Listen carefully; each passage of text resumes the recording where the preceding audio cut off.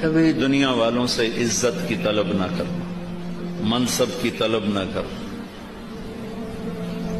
हुस्न सलूक की तो ना रखना, दुनिया चढ़ते सूरज की पुजारी है।